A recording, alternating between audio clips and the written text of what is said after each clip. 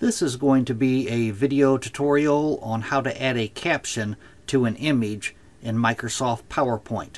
I'll be using Office 365 on a desktop PC for this. Let me jump over to PowerPoint here. Okay, I have PowerPoint opened up now and I have a slide presentation here. If you want to add a caption to an image, I have an image right here. Uh, PowerPoint does not have a built-in way to do that. You kind of have to manually do it uh, what you want to do is go to the Insert tab up top, click on it, go down to where it says Text Box, and click on that.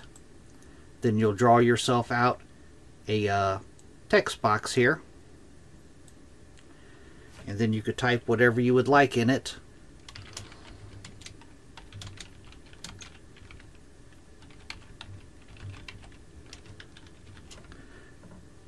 Now I'm going to grab the side of my text box. I'm going to reduce the size of my text box here. You could change your uh, text to whatever uh, size you want, whatever color you want. And then you could uh, select the uh, bounding box around your text box and you can move it to wherever you would like. And that would be the way that you would add a caption to an image using Microsoft PowerPoint. Thanks for watching.